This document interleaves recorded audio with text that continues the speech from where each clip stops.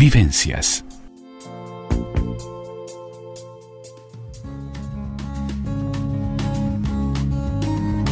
Abiertamente. La columna de la psicóloga Gabriela Cuadro en Vivencias. Ya estamos con abiertamente la columna de la psicóloga Gabriela Cuadro. Hoy vamos a estar hablando de cómo podemos prevenir la conducta suicida. En la columna anterior comenzamos a hablar y a escuchar como forma de prevenir el suicidio en personas mayores y hoy continuaremos con Gabriela enfocándonos en la prevención de la conducta suicida y quizás analizando signos que pueden ser de alerta y de consulta. Muy buenas tardes, Gabriela. Muy bienvenida. ¿Qué tal? Muy buenas tardes, Andrea. Buenas tardes para los oyentes. Un gusto estar nuevamente con ustedes. Igualmente, Gabriela. Continuamos este tema que, este, como yo decía en la introducción, eh, comenzamos el programa pasado y, y, seguiremos ahondando en este programa viendo de qué forma prevenir el suicidio, de qué manera, cuáles son los signos de advertencia que, a los que tenemos que estar alertas en personas adultas, ¿no? Así es. Y bueno, como decíamos, desmitificamos el otro día algunos mitos y algunas verdades en cuanto a las conductas suicidas, como para repasar un poquito para entrar luego en cómo podemos ser clave en esta prevención. La persona que, que tiene pensamientos, rumiaciones suicidas y las puede verbalizar, eso ya es un paso positivo porque es un llamado de atención, un pedido de ayuda. Entonces no es que la persona que hable realmente no tenga la intención de hacerlo. Sí está teniendo esas ideas y de alguna manera nos la comunica. Y así es donde entramos nosotros en qué podemos hacer. Y bueno, somos clave en ese, en ese qué podemos hacer, en esa prevención. Ser conscientes que el, de qué se trata el suicidio, por qué se da, ser sensibles con los demás, ser empáticos, eh, saber que no todos transitamos las situaciones de la misma manera ni enfrentamos los problemas de la misma forma. Todos tenemos una historia de vida y diferentes formas de pararnos ante el mundo y ante los desafíos y las situaciones que se nos presentan. Por eso es tan importante ser sensibles. También es muy importante conocer las causas de suicidio, las señales de alerta. Ser cuidadosos y ayudar a las personas que se encuentran en este tipo de situaciones difíciles, un duelo, una ruptura sentimental, un estado de depresión, el acompañar a la persona, estar allí a su lado. Muchas veces esa persona no necesita siquiera que hablemos, sino saber que estamos allí, que hay alguien que se sienta, que está disponible, que le da un abrazo, que comparte un tiempo con ella, que a alguien le importa.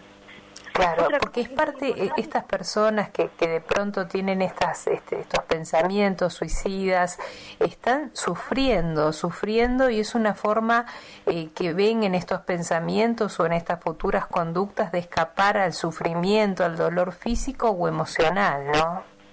Así es, Andrea, están en un sufrimiento psíquico y en un bucle de esos pensamientos, de esas rumiaciones, y no logran salir de eso, están justamente en eso, en un bucle, le dan vuelta a las ideas y no encuentran otra opción. Y muchas veces el poder hablar, verbalizar, me siento de tal manera, por ejemplo, a veces a la clínica eh, llegan personas, algo muy muy muy puntual, digo, para tener una idea. Este, llega una persona y dice, mi vida ya no tiene sentido, me dejó mi esposo, no puedo más, todo me sale mal no soy feliz, me siento que soy una carga, ya no puedo soportarlo más. Evidentemente esta persona está como fijada en ese momento de dolor, como tú bien decís, en ese sufrimiento, y entró en ese bucle que no logra ver más allá de eso. Por eso la necesidad de ser empáticos con esta persona, de preguntarle, de indagar para poder identificar si está eh, demostrando algún factor de riesgo. Y ser, como decíamos el otro día, muy frontales muy concisos y preguntarle, ¿estás pensando en suicidarte?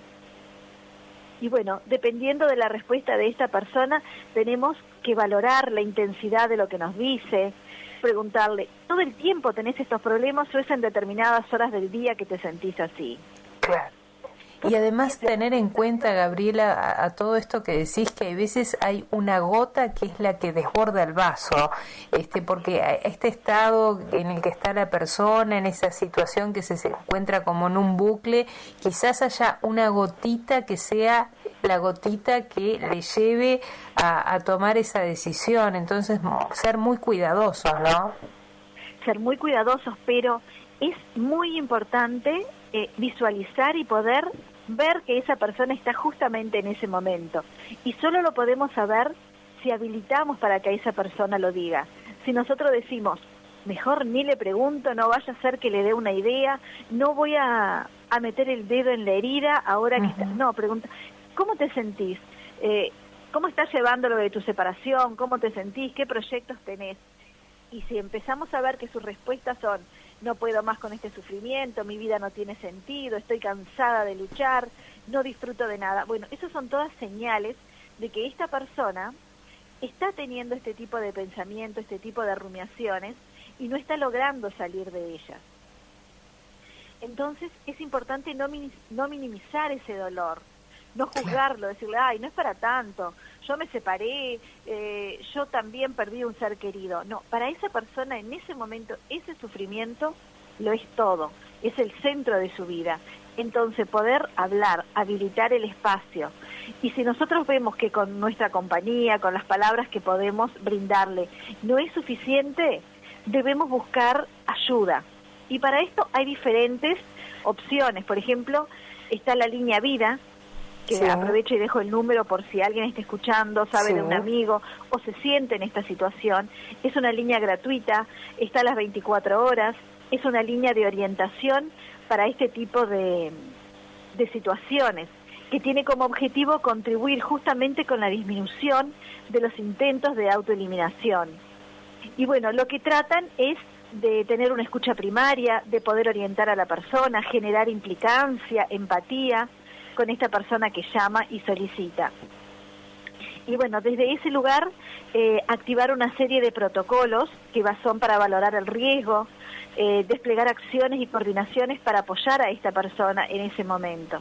Y esta línea es muy interesante porque está las 24 horas del día en todo Uruguay y es para todas las personas, tanto para los usuarios del sistema de salud privado como para el público. Es importante. tener acceso a esto que generalmente este tipo de situaciones se dan más en la noche porque están muy asociadas a la depresión, a la oscuridad, a la soledad. A no poder dormir. A no poder dormir, exactamente, la depresión está asociada a eso. También existe eh, un grupo de apoyo a supervivientes del suicidio, que también pueden ir estas personas que han eh, hecho intentos suicidas o que o sus familiares que no saben cómo manejar, no saben cómo ayudarlas, pueden recurrir. Es un grupo de autoayuda, es gratuito, se reúnen eh, periódicamente e incluso en este momento se reúnen por Zoom. Mira, qué bien. Y es interesante esto porque porque hay muchas personas que no quieren salir de su casa. Ahora estamos hablando más allá de lo que es la pandemia. Hay mucha gente que están transitando esto y se aíslan en su sufrimiento, en su dolor y bueno, pueden recurrir a este número que es el 099-927-108. Y si no, también lo encuentran en Facebook como Gas Uruguay, G-A-S-S, que es el grupo de apoyo a los supervivientes del suicidio. Y son grupos de personas que han transitado la misma situación y desde la empatía, desde el entender el sufrimiento del otro, de compartir, de solamente sentir que no soy yo el que necesito apoyo, necesito ayuda, sino que también puedo ayudar a alguien.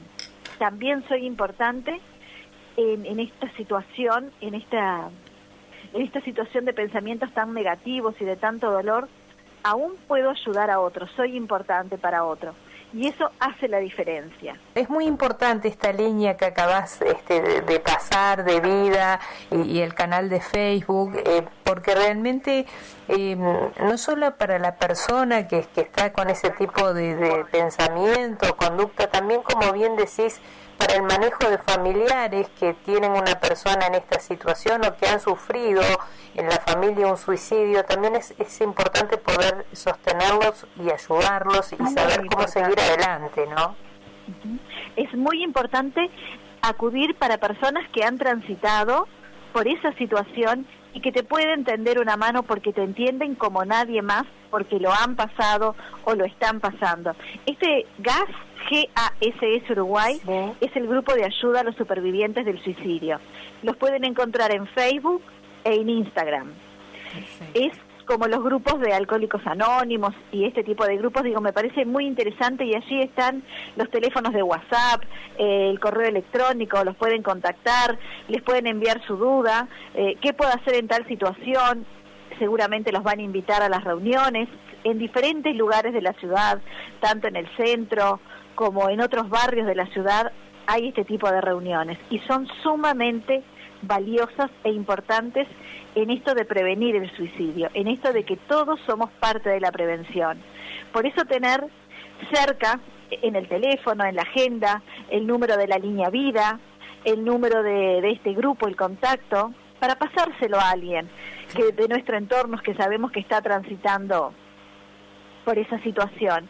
Y en referencia a esto que tú decías, Andrea, para la familia de estas personas que hacen intentos de autoeliminación o que, bueno, que hacen, hacen efectivo el suicidio.